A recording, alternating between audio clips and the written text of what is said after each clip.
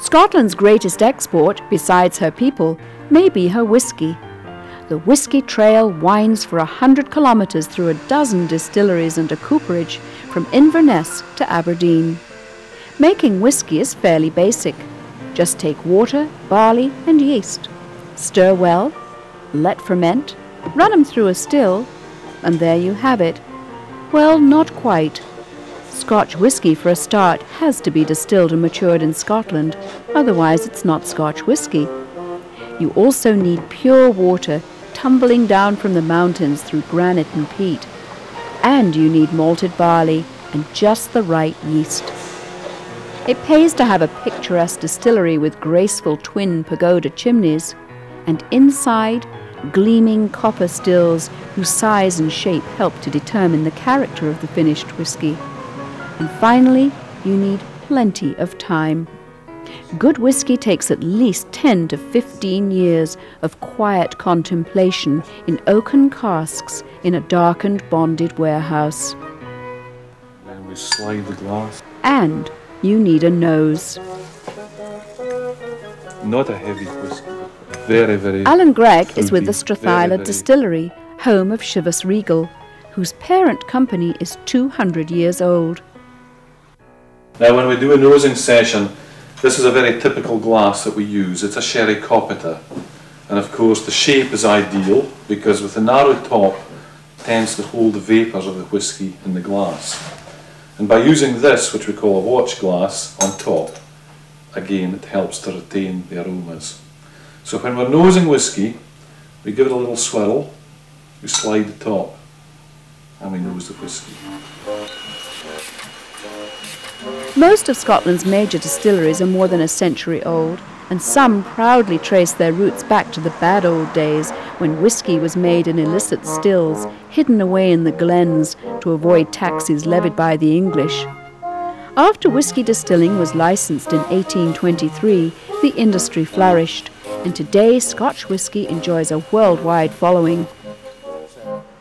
George Grant is the sixth generation of his family at Glenfarclas Distillery, which was founded in 1836. So they've had time to learn a thing or two about aging whisky. it just evaporates straight away.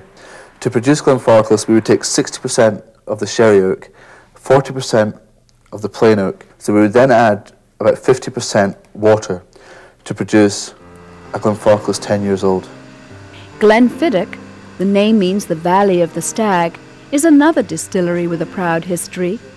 The first warehouse with its earthen floor and mighty stone walls was built in 1886, but the newest buildings are constructed in the same style to retain the flavour of the past and the flavour of the whisky.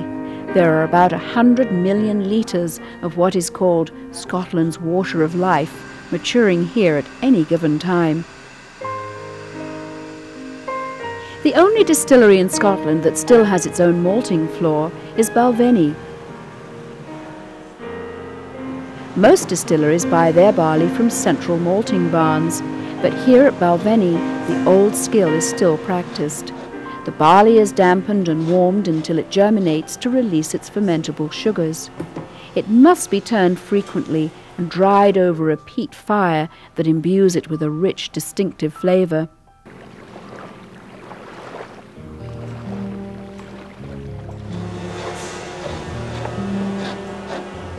The newborn whiskey finally finds its way into oak casks, which have already been used for American bourbon or sherry. The casks breathe in pure Highland air to help mellow the whiskey, but lose about 2% of their precious contents each year. Distillers call it the angel's share. At this point, some whiskies are blended. Others, the single malt whiskies, are bottled and distributed worldwide. Glenfiddich, for example, exports to 190 countries. Distilleries dot the countryside all over Scotland. Most welcome visitors. The Speyside Whisky Trail is well organised, well signposted, and easy to drive.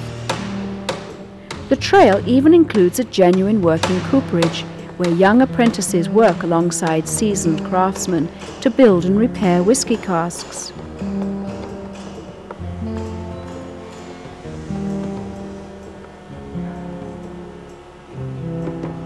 Speyside is only a couple of hours' drive from Edinburgh, where whisky lore is as close as the castle.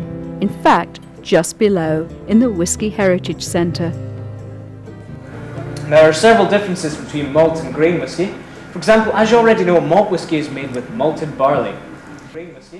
In just 45 minutes, you'll be treated to a lively look at Scotch whisky production and whiz through 300 years of history in a rollicking barrel ride, from the earliest home stills hidden in the glens to the English excisemen, to jolly King George IV, who enjoyed a wee dram or two, or three. For more information, visit our website on topoftheworld.net.